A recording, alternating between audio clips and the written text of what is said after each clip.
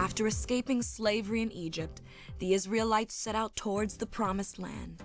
While traveling near Mount Sinai, God gave the Israelites' leader Moses specific commands about the best way to live. Some of these commands were about the exact way that the Israelites should worship God, including where to worship. For some time, Moses had set up a tent outside the Israelites' camp where he met face to face with God. When Moses entered the tent, a pillar of cloud would stay at the entrance of the tent. When the Israelites saw the cloud, they would each stand at the entrance of their own tents, worshiping God. They called this place the Tent of Meeting. But now, God gave specific instructions to Moses to build a new place of worship. So Moses gathered together all of the Israelites and spoke to them. This is what the Lord has commanded, Moses told them. From what you have, take an offering for the Lord. Moses then listed out all of the specific materials that were needed to build this new tent, which would be called the tabernacle. He asked the Israelites to volunteer to donate the materials needed from what they already owned. Everyone who was willing brought their materials as offerings to God. They brought gold jewelry, such as earrings, rings, and ornaments. They brought silver, bronze, and wood. They brought colorful yarn and linen, goat hair and leather, just as Moses had requested. The leaders of Israel also brought their precious stones and gems. Using these materials, skilled artisans and workmen constructed the tabernacle. For the first time in their lives, the Israelites had a specific place where they could gather to worship God and to bring their animal sacrifices for the priests to offer on their behalf.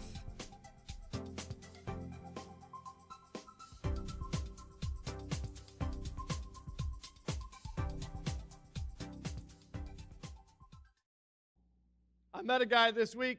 We were talking about some things, and uh, I invited him to church today to come here. Tim, the, the guy I met, he's, he's black, all right?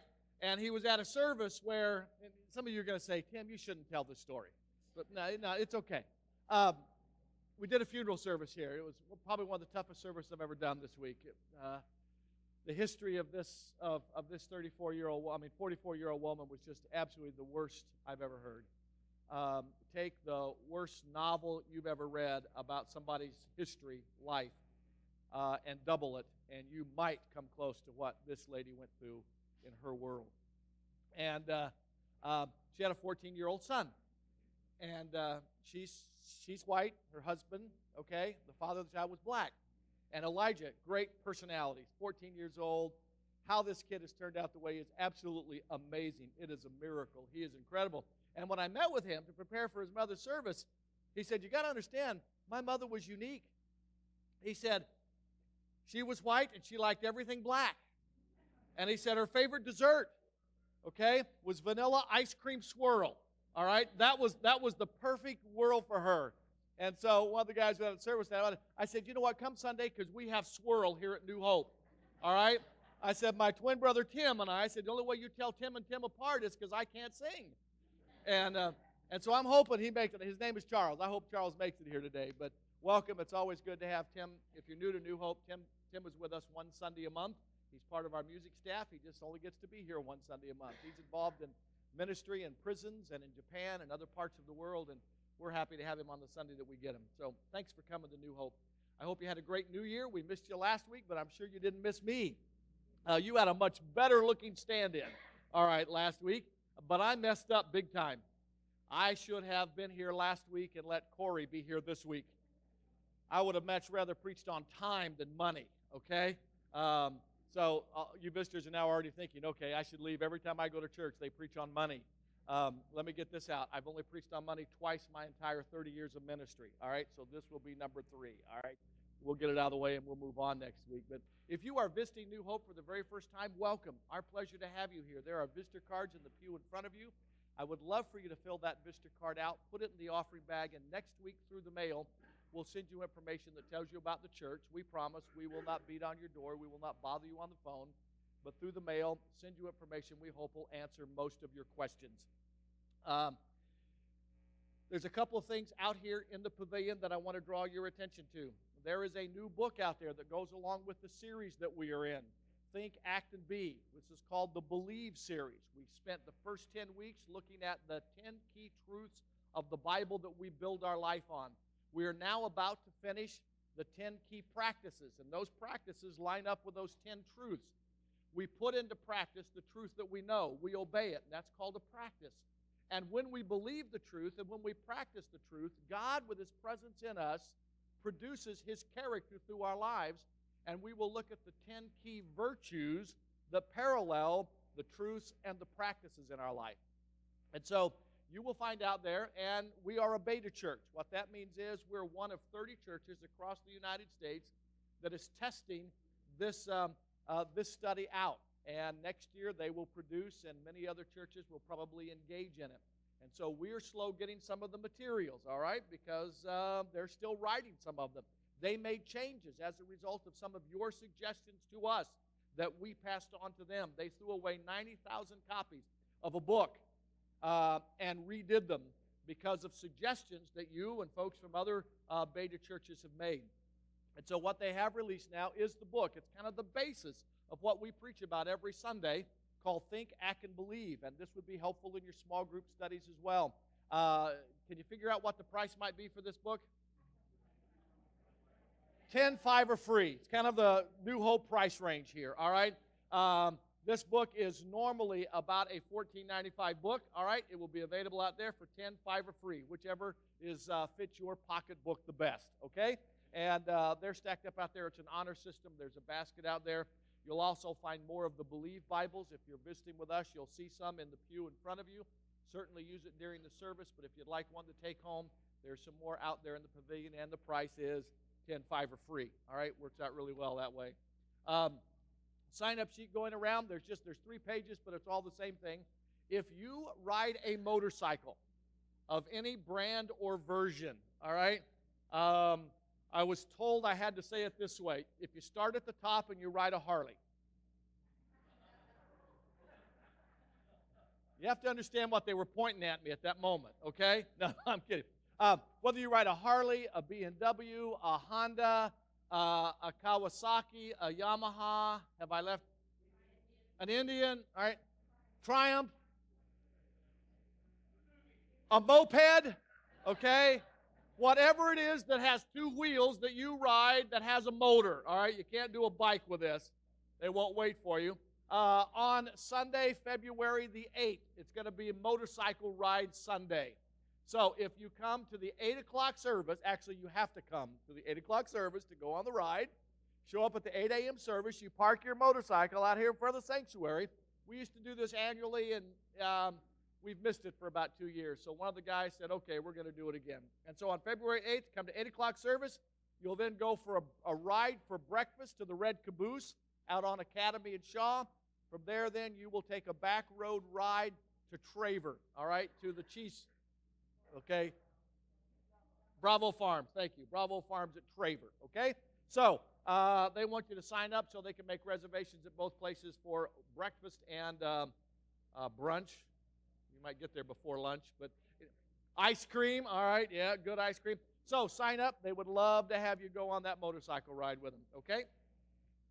Let's see here. This coming Tuesday is the senior lunch, all right? So on Tuesday the 13th, if you are 55 or older, you qualify. If you've never been, just show up. If you've been, you know the routine. The first one of the year. Tonight, we have a small group launch here at the church, 6 o'clock right here in the sanctuary. If you are a current member of a small group, we want you here. We want to talk to you about some, some good things, all right? We want you to be up to speed with, with um, some directions and goals that we have for small group this year. If you have never been in a small group, but you filled out a card and said, I want to be, show up tonight. You will get placed in a small group. If you haven't filled out a card but would like to be in a small group, show up tonight, all right? We will auction you off to the highest bidder, all right? No, we'll see that you get placed in a small group. But we'd love to have you come tonight. Probably will only be about a 45 minute meeting. It's not going to be long, and there's going to be some light refreshments afterwards. So, 6 o'clock, we'd love to have you here. Uh, investigate in your bulletin the plug in area. There's a lot of areas that you can serve, and it tells you the contact person's name. You can call the office and say, hey, I'd like to talk to somebody about this, and they'll get you hooked up. Let me just tell you one pressing need right now I know we have. We need more volunteers to help out in our nursery, our infant nursery. Let me tell you what happened on the Sunday right before Christmas. After one of the services over, I had a lady who does not attend here regularly come up to me and say, Pastor, I came to church today because I wanted to see and hear the Christmas message. But she said, when I took my baby over the nursery, there was a sign on the door that said, Take him to the toddler room. Well, brand new parents who have their first baby aren't necessarily overly inclined to want to take their baby in where there's lots of other crawling kids and playing kids and stuff. They want a safe, and I understand that. And I was told the reason is we didn't have enough volunteers. So if you want an area to serve and make a difference in somebody's life, say, hey, I'd be willing to volunteer to work with our director in our nursery program and fill one of the slots one Sunday a month, all right, two Sundays a month. Come to 9:15 service, fill in at 10:45. Come to 10:45, fill in at 9:15. Come to 8. You, get the drift, all right? You got the drift, right? You don't volunteer to serve and don't come to worship. Just, just was that subtle? Uh, all right. Anyway, uh, that's just one area, but you can find lots of other. But that's a very simple area. If you love babies and care, that's a great place for you to for you to fill in. Um, can you believe it? 20 days from now, eight men and women representing New Hope working with 1040i. We will be in Paris on our way to Doropo, Ivory Coast, Africa. We will be gone for 14 days. Over 200 children, we have been told. Over 200 children are going to be in this village attending the vacation Bible school that Shelley and Robin from our church are going to be directing the first time they've ever had a vacation Bible school event in that part of the world. Um, there are going to be doctors and nurses and construction worker and teachers, over 40 of them from other parts of the U.S. and Canada. Uh, a dormitory for 30 junior high students in a village will be completed. Bunk beds will be made, and quilts will be placed in each one of those beds made by women from our church. They anticipate doing over 100 major surgeries in nine days, and nearly a thousand other Ivorians will be seen for a variety of health needs. They have no medical facility really like this in their area. So please be praying for the benefits of education and health practices, but also please be praying for the transformation of men and women's lives from sinners to saints. For that's the purpose for it all. So please be praying for us. 20 days from now, we leave. Some names for you to remember to pray for this week. This has been a busy week around New Hope. You have allowed your facilities and your staff to be used to minister to several families this week. Uh, the Yoakum family had a memorial service here on Thursday, the Myers family on Friday, the Hill and Green families yesterday. Top of that, we've met with other families with services pending. Glenn Matson's brother from our 8 o'clock service, his brother John in Bakersfield died this past week. Um, the Freeman family I'll be meeting with on Tuesday, their 24 year old daughter died this past week. The Stonehouse and Millar families, and we've talked about both of them recently, and those services are being scheduled and planned. Uh, Naomi Millar's service will be on Saturday, the 24th of this month and then the Stonehouse service will be February the 21st of next month. Uh, some women from our church, Marianne, has gone home from the rehab center. Uh, continue to pray for Rich Smith's mom and her heart. Uh, Mikey is improving, but there's still some infection in her leg. Um, Wanda, who's having been going through cancer treatment for breast cancer in our 8 o'clock service, will be having uh, surgery on Tuesday at St. Agnes Hospital. And then Elaine's mom, Elaine sitting to my right over here, passed away this week. So lots of folks just to be praying for. A challenging first month of the year so far for many families. Um, thanks for being here today. If when you leave today and you pick up any of the books, look at the wall of truth out there. If you have not signed, this is our second wall of truth. It is the 10 practices that we've been preaching about that are based on the 10 key truths. If you haven't signed it, but you say, I believe these are practices I need to be engaged in, put your name on the wall. I'm going to ask our ushers to come forward. Wait on us as we have our morning tithes and offerings. Late, looks like the ladies are going to wait on us today. Thank you very much. Would you join with me as we pray? Father, thanks for life and the privilege of sharing life with you. Father, the scripture says that you are so interested in spending time with us that um, you describe it this way Jesus stands at the door of our life and he knocks. And he said, I'd like to come in and hang out with you. Father, because you are God, your son could easily knock the door down. But Father, his desire is not to have authority over us, but it's to have fellowship with us. He's not a dictator who demands that we trust him. He is a Savior who longs for us to accept him. And so, Father, I trust that we not only accept him as a Savior to get us out of hell and into heaven, but, Father, I also trust that we accept him as the source of life, so that between now and our death, we get to experience life with him every moment of every day whether I'm enjoying my favorite hobby, or whether I'm engaged in the act of worship, or whether I'm involved in kingdom service of ministering to others, whether it's the homeless, whether it's the addicted, whether it's the careless, whether it's the grieving, whatever hurt somebody has, but you're using us to be a source of your life being expressed to them. May we share this incredible adventure that you have in store for us. Our Father, we trust to you the needs that we've already talked about today. So many needs for comfort, for encouragement, for support. Needs, Father, of peace as they wait for surgery or wait for the results of tests. Needs, Father, for patience as people find themselves in a waiting room waiting for answers and clarity and direction. And in the midst of all of these troublesome valleys of life, you promise us your presence you don't promise us the absence of trouble, but you promise us your presence in the midst of our troubles. You tell us you'll never leave us nor forsake us. Father, if there's a man or a woman sitting close to us in this service right now, give us the eyes to see what they may need from us, whether it's a kind word, whether it's the offering of a helping hand, whether it's something as simple and yet familiar as a hug. May we just have eyes to see the way in which we can help the hurts and the needs and the challenges of others. For the privilege of giving and sharing today, Father, we say thanks. In Christ's name we pray. Amen.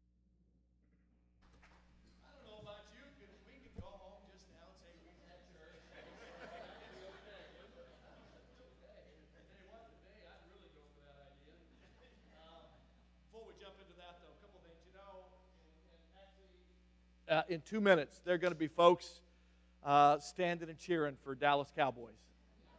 And, and, and they may end up with a broken heart, all right? I, am just saying, okay? Uh, there'll be folks standing and cheering Denver and Indianapolis. And um, you guys topped them all. You stood and cheered the one who will never disappoint you. You stood and cheered the one who will never, ever let you down in spite of how many times we let him down, he never does let us down. Uh, there's also a table out in the pavilion that uh, Teddy and Corey will be manning and womaning. Yeah, well, yeah. Um, uh, regarding small groups, so if you're fairly new and you kind of want to what's all this talk about small groups, you can stop out at the table and ask about it, or you've known about it, but you kind of want to know how are things going to work tonight. Stop by there; they'll be happy to answer um, all of your questions. All right. Uh, big thanks to Corey for filling in for me last week. Uh, you certainly had somebody a whole lot better looking to look at last week than you do most Sundays. Um, and uh, thank you so very much, Corey, for filling in. I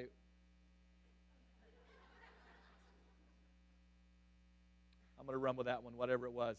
Um, it was perfect timing for her to uh, to introduce and relaunch small groups before our meeting tonight.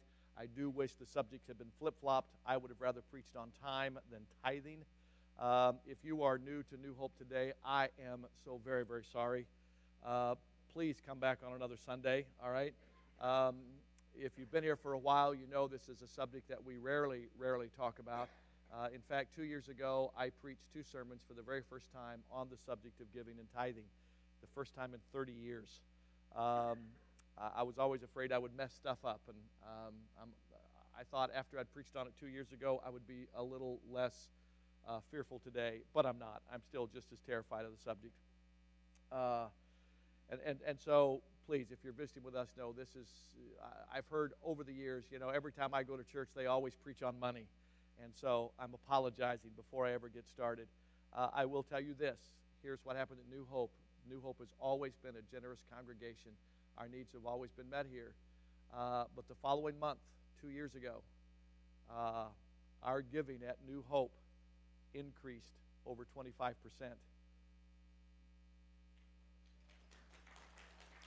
That, so what that taught me was is there are folks who really just they're not offended by the subject. We just don't know, or we know and we need to be reminded. And so, um, remember if you're visiting today, uh, have a nice nap. Okay, that'll be just that'll, that will be just fine. To, yes. Did he tithe? Oh, oh, oh, oh, we're back on football. All right, all right, all right. Okay, all right. Go home and read the sports page after the scriptures, okay? Um, uh, to kind of acquiesce from what uh, Corey introduced to you last week and what we're going to talk to you today, it's this idea of whether it's our time or talents or tithes. It's the idea that in this, in this thing called fellowship with God, whether we call it church, whether we call it Christianity, whether we call it kingdom work, however you describe it. But, but those who have a relationship with God, we are not called to have this relationship in isolation. We are first of all called to have it in relationship with God, and then God challenges us. Once we are His adopted children, He encourages us to spend time with His family. And He says, Why? Because I can get a whole lot more accomplished in this world for my kingdom's sake when you are living together than when you are living apart. And uh, in a book I've been reading over the last uh, two months, uh, just so happens at the tail end of the book, just in time for today, uh, came across this quaint little illustration. If you're like me, you are clueless when it comes to classical music. There are a few exceptions in here. Gene and a few others, you have a lot more knowledge of classical music than I do. Some of you were cultured, and you have heard of Eric Whitacre. How many of you have heard of Eric Whitacre? Gene's nodding his head. Anybody else? Okay. All right, all right, good. Ethan, all right, so two cultured people in this whole congregation. Eric Whitacre is a world famous classical composer. I've only heard about him because he gave a TED talk that someone recommended to me. A few years ago, Whitacre decided to conduct a fun little experiment. He wrote a song. He posted the sheet music on his blog, and he invited people around the world to sing the various harmonies of his song. The, get the idea? If you sang solo, then you would sing the solo part. If you sang tenor, you would sing the tenor part. And what you were to do was do a selfie. Okay? You, you were to video yourself singing this part or playing this instrument and doing that part. All right? You with me? The idea was for individuals everywhere to sing into a camera, post their videos on YouTube. Eric used the posts and created a master track with him conducting so everybody was joined together. All right, now really, he wasn't conducting, he just laid all the tracks down together. All right, you, you kind of with me on that? Um, word caught on slowly. People sang and recorded their parts. The videos were posted. Eric hired a videographer to weave all of the videos together. The final result was staggering one perfect song that featured a virtual choir of 185 voices from 12 countries, all flawlessly synced together. In the first two months of its release, the video received more than 1 million hits. Eric tried the experiment again a year later. This time, the numbers jumped from 185 to over 2 thousand people who sang in the virtual choir. And again, the final product was a masterpiece. He's done it two more times, and it's gotten over 4,000 voices who've joined together. And then he did a youth one. You had to be under 18 and sing your parts and put it on. There were over 600 young people around the world who did this. And as I read that, I thought, wow. That really is what God is asking of us in the church to do to take our individual times and talents and treasures that He's given to us, sync them together for the greater good rather than just our personal good. There's not a one of those 200 and some odd first voices who sang that anybody had a clue to who they were. They would have never got a million hits on YouTube all by themselves, but put together, it became extremely effective. And that is the principle that God has functioned with under since the beginning of time. So now, but before I really jump with both feet into the midst of today's sermon, let me just offer some things out of society as a perspective for us to think and pray about. You see, in the culture in which we live in today, in 2015, you would certainly get the impression that many believe that money is king. It is the prime authority. I can preach about being stewards of our time and the abilities that God has given us, or Corey can, and rarely does anybody get too upset.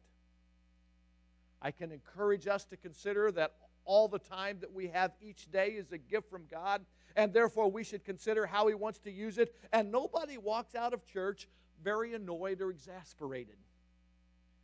I can encourage us to consider the abilities we've been given by God and how we can use these gifts to go all in and bring Him glory and honor. And rarely will anyone roll their eyes at me from the pew.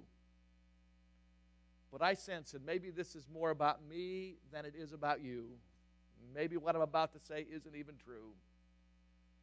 But I sense when I talk and challenge folks to examine the scriptures, not my opinion, but to examine the scriptures concerning the use of our money, our hands automatically clench. Our checkbooks get held close and our hearts become like Teflon. Nothing is going to stick from today's message. Most of us want to tune out by saying something like this I work hard for my money, and ain't no preacher going to tell me what to do with it. And you are absolutely right. Take nothing any preacher tells you. All I'm asking you today is to consider what God may tell all of us.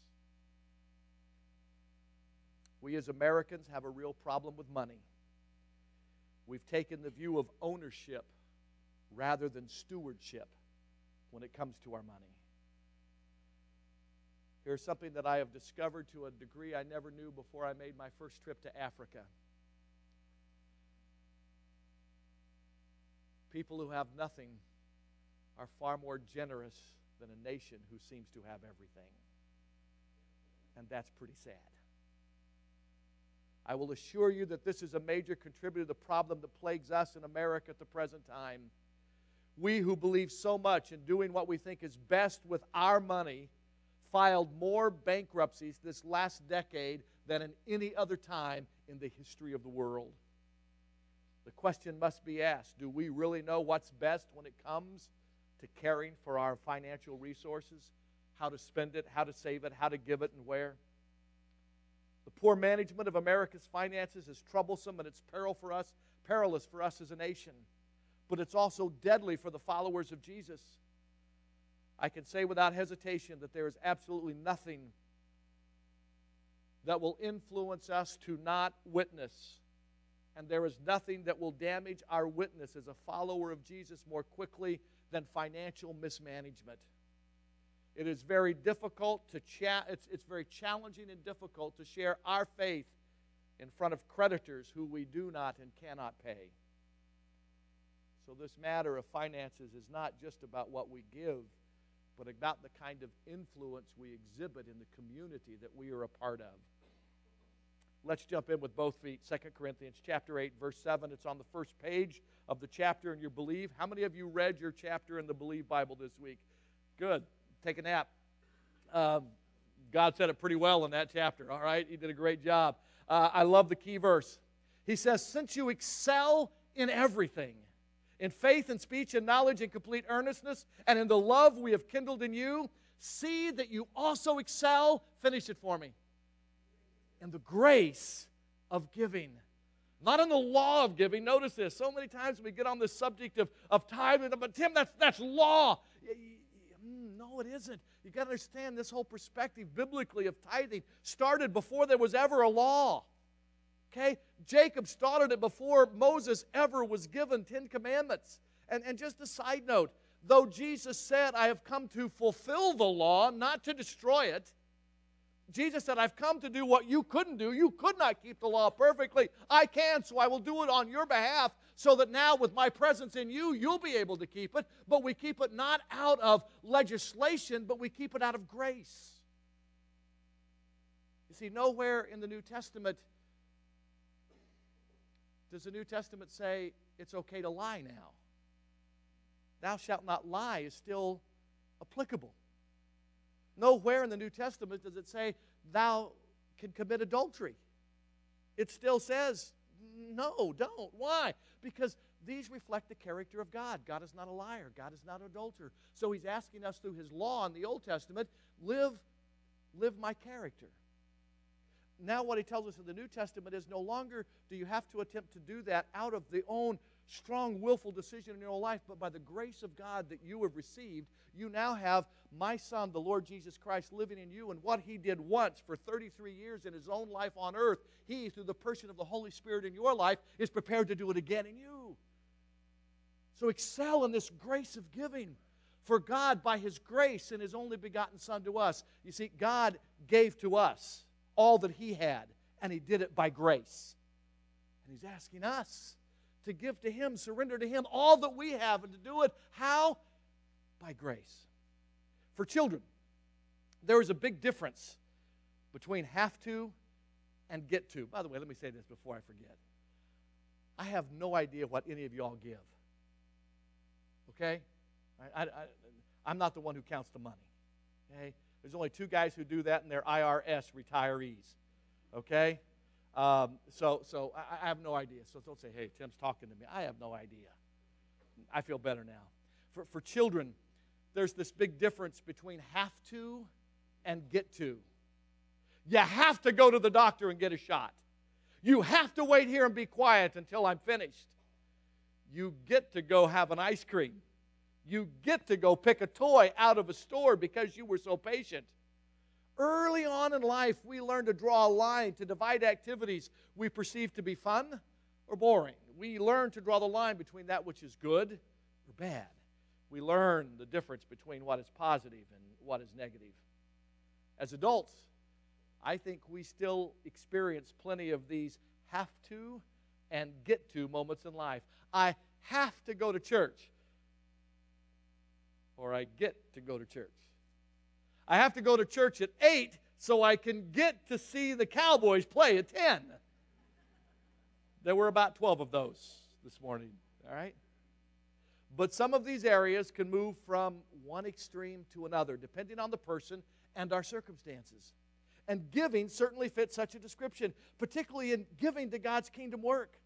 One person finds great joy in giving regularly to support kingdom and church ministry, while another views it as a, a, a heavy burden to bear.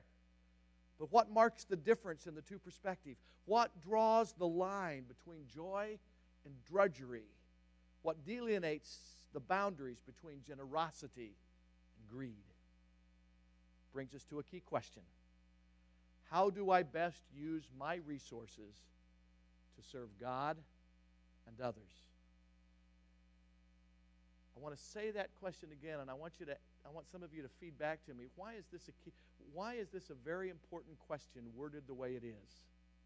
How do I use my best resources to serve God and others? What makes that such a key question? Attitude? Yeah, good. Okay. That's good, but it's not the one I'm looking for. Your heart? Yeah, yeah. Who said that? Good job. That's my small group leader. Yeah. Notice what it says. What, what did Jesus say are the two greatest things for us to know, remember, and obey? Love the Lord your God with all that you are, and love your neighbor as yourself. On these two truths hang all the law and all the prophets. Everything hangs on those two. So, with the greatest things that Jesus ever had to say being those two things, this question is so pertinent. How do I best use what God has given to me for the purpose of serving God and serving others and keeping the two commands he says are the greatest? Historians tell us that when soldiers in the Middle Ages came to faith in Jesus and were baptized, The event very often came with a rather unique twist to it. The warrior would keep his right arm up out of the water. The symbolic point intended was that the arm used for wielding his sword and killing could not be committed and surrendered to the Lord yet, as was the rest of his body. The decision was certainly an odd attempt to show that the left hand didn't know what the right hand was doing. And today it seems like many Christians, I'm not talking about New Hope because I don't know what the percentages are. What I do know statistically across the United States, less than 3% of people who are members of church congregations give their tithes. 3%. So it seems like many Christians hold their right arms out of the water as well, but they're not holding their sword. It's as if to say, Lord, you can have everything except this. Listen to what Paul said to a young preacher by the name of Timothy in 1 Timothy 6, verses 9 and 10. Those who want to get rich fall into temptation. We pause. First thing to notice is Paul did not say getting rich was a sin. Very clear on that. What he did say was those who want to get rich fall into temptation and a trap into many foolish and harmful desires that plunge people into ruin and destruction. This parallels what Jesus said himself during his life on earth when he said, It is easier for a camel to go through the eye of a needle than it is for a rich man to enter into heaven. And I got to tell you, until I was until I was in my mid 20s or late 20s, I heard that story, and this is the visual I got. I got my grandmother sitting in her living room with a sewing needle, and a piece of thread, and with bifocals.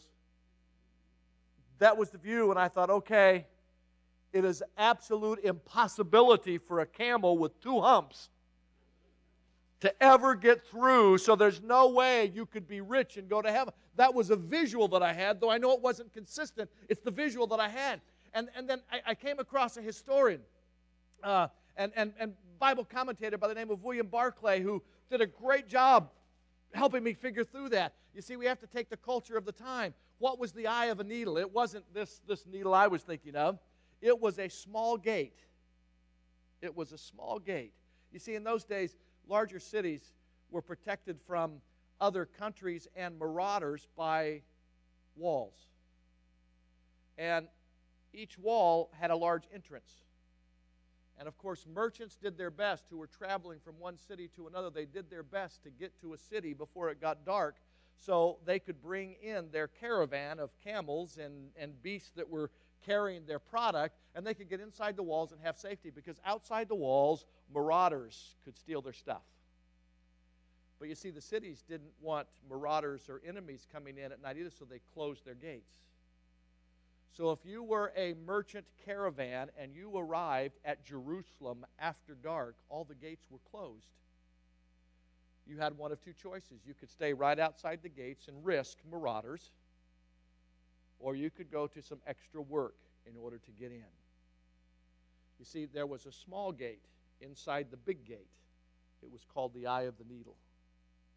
They would open up that small gate, and a camel could get on its knees with its burden off, and it could get in to the city. And then the merchants would have to hand carry the product in, but they would be safe. See, it wasn't impossible, it was just challenging. And what Jesus was telling us and what Paul is intimating to us here is, is that wealth tends to become a burden that distracts us from the simplicity of a relationship with God. Not that it is impossible. And there are examples of wealthy people in the scripture who were lovers and followers of God, and they, they didn't allow their finances to become a burden. And so, what are the keys that make that possible? The second part of 1 Timothy 6 9 through 10 says this For the love of money, often the love of gets cut off of that, and we say money is the root of all evil. No, it's not. And God never said that. It says, But the love of money is the root of all kinds of evil. Some people eager for money have wandered from faith and pierced themselves with many griefs. I know I've said this of you. When I've been strapped, I've said, you know, if I just had a little more money, all my problems would be solved. And Paul is telling us quite the opposite. He's telling us often the more money, the more grief. Of the 38 parables that Jesus told in the Bible, 16 of them deal with how to handle possessions. All told, 288 verses in the Gospels. This I find fascinating. 288 verses in the Gospels. One out of every 10. How much is that? Isn't that fascinating? Refers to money. I just find that such a coincidence. Over 2,000 Bible verses talk about our personal resources compared to approximately 500 on prayer and fewer than 500 on faith. We must not conclude from these statistics that Jesus' heart was focused on money, but rather that Jesus knew that ours would be. His teaching continually directs us towards all that we have, including our money and possessions, to love Him and to love others. Key idea I give my resources to fulfill God's purposes. God's great grace should move us to think not as though we are required to give, but as though we are privileged to get to give. The Apostle Paul writes, Each of you should give what you've decided in your heart, not reluctantly or under compulsion, for God loves a cheerful giver. Let me read that one one more time. Each of you should give what you've decided in your heart, not reluctantly or under compulsion, for God loves a cheerful giver. In just about three minutes, let me break that verse down very simply if we can. Um, when I was in school in a journalism class, uh, I was taught five questions, and maybe um, if I'm wrong, the former editor of the Bee can correct me. But who, what, when, where, why, and how? Key questions to ask in an interview. Who? Who is Paul talking about as he writes this verse in Second Corinthians? He says, each of, yeah, each of you. Who's left out? Nobody's left out. No, who's included? Everybody. This is kind of a plural singular okay? Each, which means there's more than just one, otherwise he wouldn't have said each. So, so all of us must make a personal decision. It's kind of like the story I read to you at the very beginning. Everybody had to choose to make the selfie video so that it could all be put together for the greater glory. Each of you, none of us are left out. What? Who do what? Each of us should do what? Give. Um, was there another option made available? Not another option. I, I didn't write it. But I, I, I went through that verse about 12 times, looking for an option. None given, no exception made. Each, each give. How? How do we get to this point to where each give? This, Paul said, decide where? In your heart. Interesting. A choice in the heart. Thoughtful choice to be made under the influence of the one who sits on the throne of your life. The heart, that term heart is used in two different ways in the Bible. The term heart is used as the seat of emotion, and the term heart is used as the seat of authority in your life. Where and how you make decisions. So, either way you want to use that word here, I find it fascinating. Who sits on the seat of your emotions? Who sits on the seat of authority in your decisions. Who runs your life? You or God? And the answer that will come to the choice we must make is going to determine a lot how we abide by this passage. Another how here. Decide in your heart don't give reluctantly or forcibly. Thoughtful choice should influence healthy emotions. If we have given God the seat of authority in our decision making, then it should be easy to give great, excel in the gift, in the grace of giving. And we should do it then cheerfully rather than reluctantly. Don't ever give because the preacher forced me to. No, give because who sits on the seat of authority in your life? And why? Because God loves a cheerful giver. Some of you are saying, does that mean God will love me more if I give more? No. Do you love the child in your, in your family who obeys better? Do you love them more than the one who doesn't? No. You love them both. You love them both, all right? You love them both unconditionally. If, if you're a good parent, you love both your kids unconditionally. Both, all, how many ever you got, all right? You love them unconditionally. Do you appreciate the one more that obeys? Absolutely. Absolutely. I think that's what God's telling us here. God appreciates his children who reflect his character. God gave gracefully. He asks us, give as he gave to us. Who did he give? His one and only son. All he's asking from us is dinero. I'm kidding on that, guys, by the way. The two most significant examples for me in the Bible of generosity did not come from anybody rich or middle class. For me, the two significant examples of generosity in the Bible came in the form of two widows one out of the Old Testament, one out of the New Testament. One gave a mite, one gave a meal.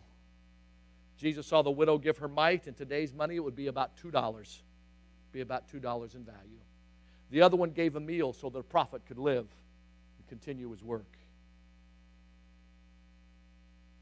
As devoted followers of Christ, our daily prayer should become Lord, how do you want me to use the resources you've entrusted to me? This includes our wallets and our purses, the cash, the checkbooks, debit cards, credit cards, savings accounts, and all the resources. This practice is directly tied to the belief of stewardship. Key truth number nine matches up with key practice number nine. I believe everything I am and everything I own belong to God. Therein lies our dividing line. Do we perceive our money, our resources to be God's or ours? When Jesus redeems our soul, he can also redeem our financial management skills or the lack thereof. He can redeem our debt, our savings, our investing, and our giving, our checkbooks, our credit cards, our savings accounts, our stocks, our bonds, our 401ks, if you have them, should all come under the authority of his leadership. As a pastor, though I'm not a financial advisor by any means, but I've had to counsel people on the topic several times through the years, and I can safely say that what keeps many professing Christians from giving is not really a lack of desire, but it's rather an abundance of debt. All too often, debt comes not near as frequently as we are tried to be led to believe from medical bills or unforeseen and unavoidable tragedies, though it happens on occasion. But the norm is it comes from intentional choices to accumulate stuff right now when we can't afford it which then places an unbearable burden for many years and prevents true freedom and blessing and giving to God and His kingdom. In the Sermon on the Mount, Jesus teaches us this no one can serve two masters.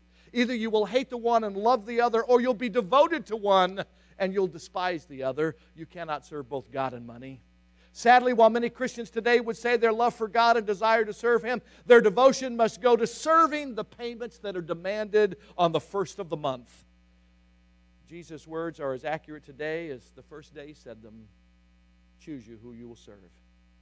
As we've stated with the other key ideas, we give our resources for eternal purposes to fulfill God's promises. Money will never save anybody's soul, but funds are needed to support ministries and missionaries that will reach people all around the world. If we believe the only thing that will matter in heaven will be what we have done for Christ here on earth, then the vast majority of our money that goes through our hands isn't going to count for much when we're dead and gone, except for that portion given to build his kingdom. What's the key application? What difference does this principle make in the way in which I live? Two things. One, we should intentionally give a percentage of our financial resources to fuel the purposes of God and His kingdom. We should be intentional, not casual. I'm not going to tell you that it's a mandate you give 10%. I'm going to tell you as I read the scriptures, for Shelly and I around our house, that is the base of where we start. Our goal is to get to 20%. It's our goal. We're working there, we're inching our way there. That's the base, and then it becomes offerings on top of that, and then projects on top of that. But to be intentional. If you say, I, I, I, you're not doing anything, start somewhere. Start at two, work to five, see where it goes. But here's the deal I only know one place in all the Bible that God says, put him to a test. Only one place do I know where God says, put me to a test, and that's Malachi chapter 3, and he says it's with your tithes and your offerings. I'd test him, folks. Number two, we intentionally make available the material resources God entrusted to us, not just our money, but our home, our car. Who can we invite over for dinner that needs a helping hand? Who can we give transportation to who needs some assistance getting somewhere? What clothes do I have in my closet? And instead of throwing in the garbage, I can see that Prison Fellowship or Hinds Hospice or some worthy cause can put them to use. How can I use my skill with tools to help somebody whose car isn't running or fence who's fallen down? but intentionally make available the material resources for the benefit of others. Here's a valuable exercise. I'll show my age. Take out your checkbook register. Those of you who do everything online, go to your online register, all right? I'm old. Actually, I'm no school at all now because Shelly is so wonderful. She handles it all, and it's all on the computer, and I know what button to push to turn it on. But go to wherever you keep track of your financial resource and ask yourself these five questions. Number one, what patterns or tendencies do I see? What priorities are evident in my spending? In Crown Ministries, they give you an assignment to do, and that is for 30 days, carry a tablet in your pocket and write down every dime you spend. See where it goes. When I did that, I challenged my other half and said, I bet you spend over a hundred bucks in big gulps a month. No way. End of the month, it was $104 big gulps. Okay, now, all of you who are gapping at that, what do you spend for Starbucks? Okay? Yeah, see, I'm meddling now. What priorities are evident in your spending? Men, let me talk to you a moment. I've talked about Starbucks, primarily a female thing. Not exclusively, but primarily. Guys, how about your hobbies? What do you spend on your motorcycles? Just pass that sheet around. What do you spend on your golf? What do you spend on your guns? What do you spend on your, you fill in the blank. Okay? I really didn't mean to get quite that personal, but that's okay. Number three, where am I pleased where am I pleased with regard to my money management? Where am I disappointed in what I've discovered? And number five, what changes should I consider making? This is great. The day a particular church's treasurer resigned, the church asked the local grain elevator manager to take the position of church treasurer. He agreed to do that under two conditions. One, that no treasurer's report would be given for the first year. Number two, that no questions would be asked about the finances till the end of the year. A little scary. The people were surprised, but finally agreed since most of them did business with him and found him to be an honorable, trustworthy man. At the end of the year, he gave to the church the financial report. The indebtedness of $228,000 paid off. Minister's salary raised 8%. Mission program gifts gone up 200%. There were no outstanding bills, and there was a cash balance in the bank account of $11,252. Immediately, the shocked congregation asked this new treasurer, How did you do it? Where did the money come from? He answered, Most of you bring your grain to my elevator. Throughout the year, I simply withheld 10% on your behalf, and I gave it to the church in your name. You didn't even miss it. Do you see what we could do? what the Lord could do if we were all willing to give our part? As, as you lay your finances, wasn't that a good story? I love that one. As you lay your finances before the Lord, ask, Am I using the resources you've given me to accomplish your purpose?